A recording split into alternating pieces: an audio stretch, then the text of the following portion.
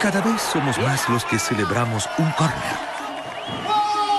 Los que nos abrazamos con cualquiera por cualquier gol. Y los que perdemos la cabeza por un empate a cero. Cada vez somos más en